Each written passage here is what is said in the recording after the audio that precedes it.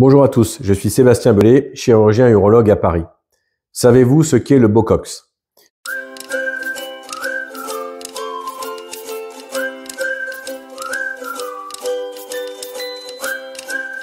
Vous avez possiblement vu euh, des vidéos sur YouTube récemment concernant ce traitement euh, qui vient des États-Unis.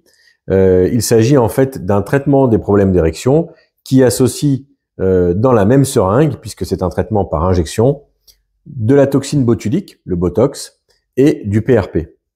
Il s'agit d'un traitement qui, pour l'instant, n'a pas été, euh, ne s'appuie pas sur des données euh, scientifiques, euh, mais qui fait l'objet d'une d'une de, de, recommandations plutôt commerciales, d'une publicité aux États-Unis.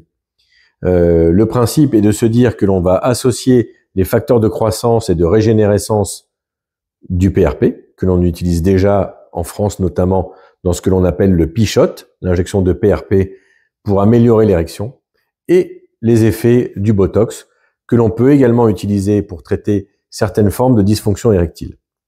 Le problème est que chaque, dysfonction érectile, chaque patient est un peu différent. Et que si le PRP, par exemple, peut être efficace parfois chez les hommes qui ont besoin d'un traitement de régénération des tissus, le Botox, lui, est plutôt efficace chez les patients qui ont un problème d'érection lié à une trop grande, à une trop importante contraction des fibres musculaires de leur corps caverneux. De façon assez rare et assez inconstante, euh, euh, on se retrouve avec ces deux causes mélangées.